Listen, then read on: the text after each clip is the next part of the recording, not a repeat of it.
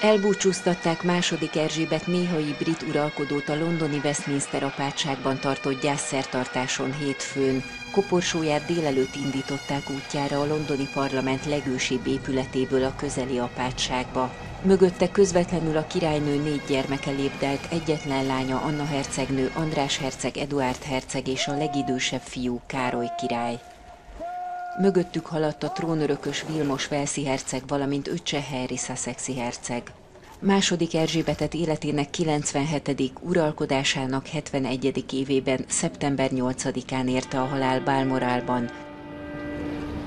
Koporsóját az uralkodóház lobogójával az úgynevezett Royal Standard zászlóval fették le, és az uralkodói jelképeket, a birodalmi állami koronát, az országalmát, valamint a jogart helyezték rá.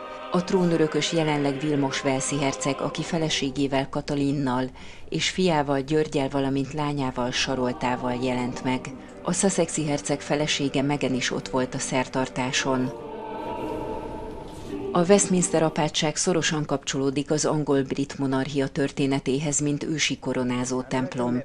Még hercegnőként itt kötött házasságot Fülöp herceggel második Erzsébet, és itt is koronázták meg 1953-ban. A ceremónián Lisztrász brit miniszterelnök is olvasott fel részleteket a Bibliából.